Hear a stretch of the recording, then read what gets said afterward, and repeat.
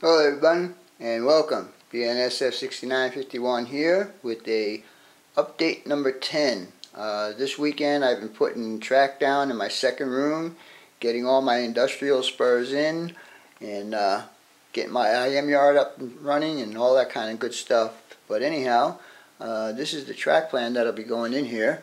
As you can see, this one will feed uh, uh, Big D's flooring supply and modular systems.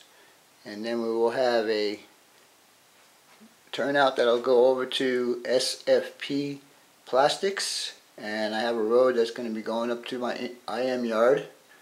And then the other side of this is going to feed LexJet and Sun Electronics.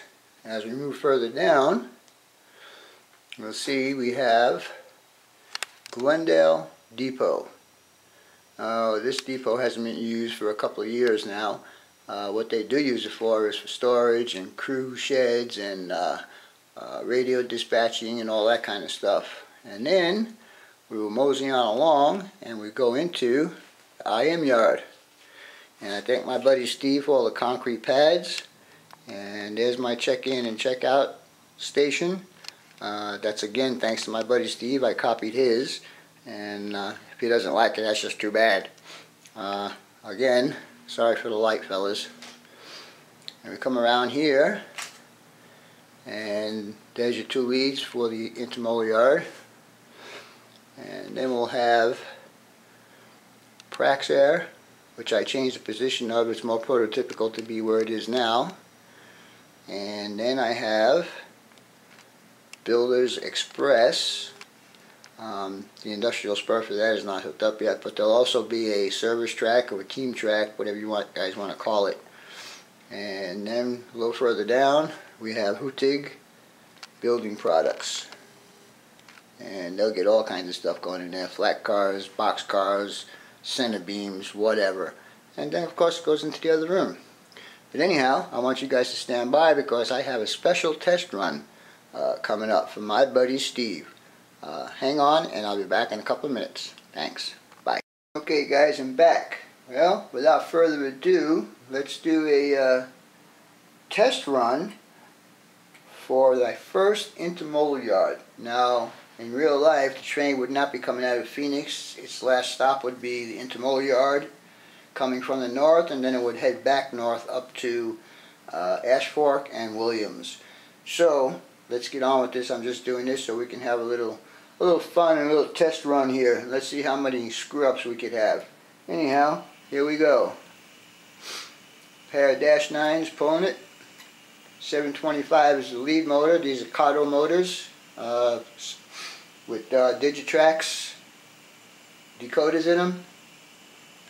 And right now I'm at speed step number two. I'm Gonna bump it up one.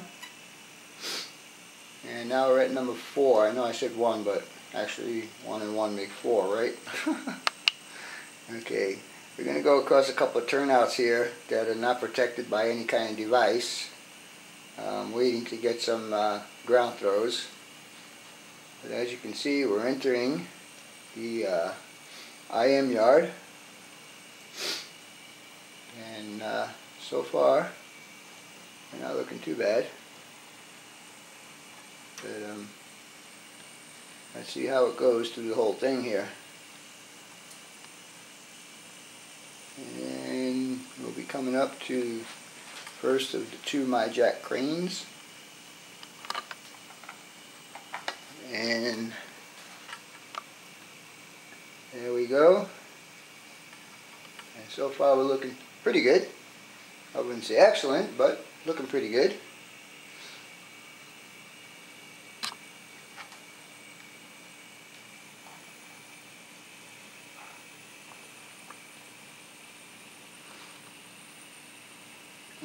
If this were totally complete, uh, that train would be heading north towards uh, Williams and Ash Fork. But because I don't have a helix, I need to stop the train there. So we will stop you right there. And at this point, I will give you guys an overview of my IM yard. There's a check-in, check-out. Uh, thank my buddy Steve for the idea.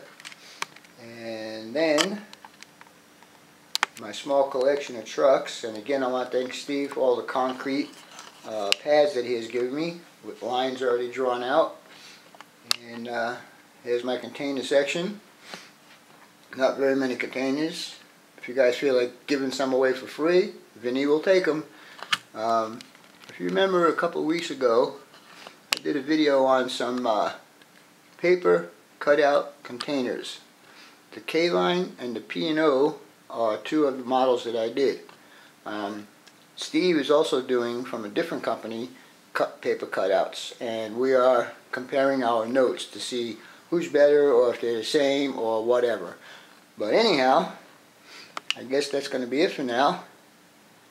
Uh, BNSF 6951. I'll say goodbye right now. And if you have questions or comments, they'd be welcome. And of course, subs are always welcome. BNSF 6951. Out.